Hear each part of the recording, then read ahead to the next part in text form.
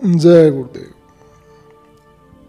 पहली जनवरी सन उन्नीस अट्ठानवे सवेरे सवा छः बजे टेलीफोन की घंटी बजती है।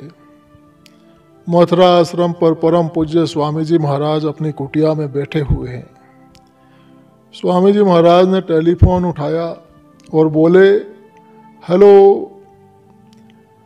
तो उधर से स्वामी जी महाराज का प्रेमी बोला कि बाबा जी प्रणाम करता हूँ। नए वर्ष पर आपका आशीर्वाद चाहता हूँ। तो स्वामी जी महाराज ने कहा अच्छा अच्छा जय गुरुदेव। नए साल में प्रार्थना करो कि हमारा भजन खूब बने, भजन में खूब तरक्की हो। और सबको वहाँ पर हमारा जय गुरुदेव कहना। और ये भी कहना कि बाबा जी ने कहा है कि नए साल में लगन से सब लोग खूब भजन करें। यह कहकर फिर स्वामी जी महाराज टेलीफोन रख देते हैं। आप सभी को नव वर्ष की हार्दिक शुभकामनाएँ। जय गुरुदेव।